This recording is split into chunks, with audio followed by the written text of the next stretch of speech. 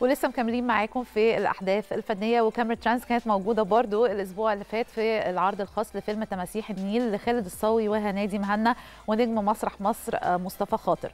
فيلم تماسيح النيل بتدور أحداثه جوه مركب نيلي بين الأقصر وأسوان وبتدخل عصابة جوه المركب وبتبقى عاوزة تسرق بعض الركاب على المركب. والفيلم من إخراج سامح عبد العزيز. الأستاذ سامح عبد العزيز يا جماعة اللي أنا بشكره من دلوقتي على كباريه وعلى الفرح وعلى تماسيح النيل وعلى أي شغل هنعمله تاني مع بعض. زمان أنا كان ممكن كل فيلم أشتغل فيه أترجمه لك لرساله وأقولها. دلوقتي حسيت إن الرسائل الكبيرة مش هي اللي بتوصل. تصور؟ اللي بيوصل هو الرسائل اللي بين السطور.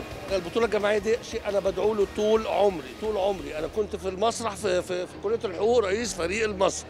كنت اللي كتبته وأخرجته للمسرح كل الفرق النهارده اللي بتقدمه بتقدم المسرحيات اللي مكتوبة كلها هتقدمها علشان هي مسرحيات جماعية. اشتغلت على مشروع المسرح الحر والسينما المستقل وبالذات على فرقة الحركة المسرحية اللي كانت بطولاتها كلها جماعية وكنت بخرجها.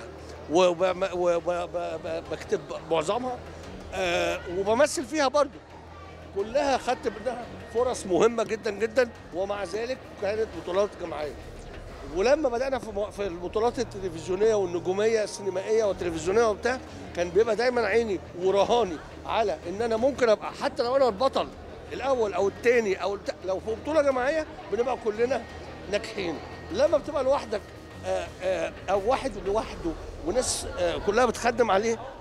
صدقني ما بتبقاش زي البطولة الجماعية. تماسيح النيل فيلم رحلة وأفلام الرحلة من الأفلام اللطيفة جدا الناس بتحبها. وجو لذيذ مجموعة قررت تطلع رحلة وبيحصل بقى أحداث عظيمة جدا في بعمل دور محامي جوز أخت خالد الصاوي بنتآمر أنا ومحمد ثروت.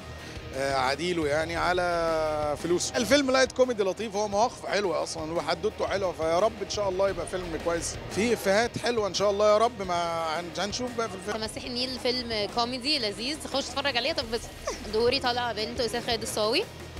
وبنسافر بقى عشان في رحلة ترفيهية وبيحصل بقى كذا موقف هناك على المركب بيدور منه أحداث هقول لهم مبروك ويا رب الفيلم يعجبكم ويعجب الجمهور وإن شاء الله يحقق أعلى إيرادات و...